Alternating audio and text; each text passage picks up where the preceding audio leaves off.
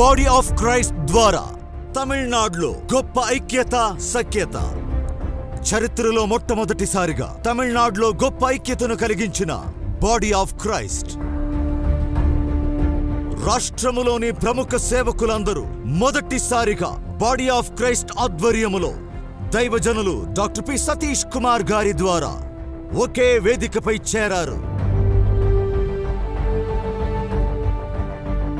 క్రైస్తవులందరూ ఒకే చోటకు వచ్చారు This is the first time in the history of Tamil Nadu where all the denominational heads have come together on this stage saying that we are one in Christ.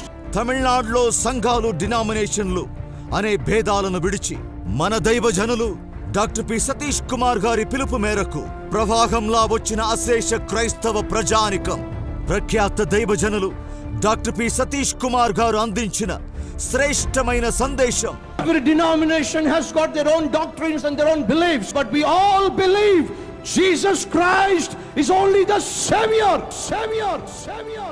సేవకులలో క్రైస్తవులలో గొప్ప ఉజ్జీవాన్ని కలిగించి గొప్ప ఆశీర్వాదాన్ని ఆనందాన్ని పంచింది అందరూ కలిసి ఐక్యతను సమైక్యతను కొనియాడారు దేవుని స్తుతించారు ప్రార్థించారు ఆరాధించారు బాడీ ఆఫ్ క్రైస్ట్ ద్వారా సేవకులలో గొప్ప ఐక్యతను క్రైస్తవులలో గొప్ప సమైక్యతను కలిగించిన మన దైవజనులు డాక్టర్ పి. సతీష్ కుమార్ గారిని బట్టి దేవుని స్తుతిస్తూ సమస్త మహిమ ఘనత ప్రభావములు దేవునికే చెల్లునుగాక.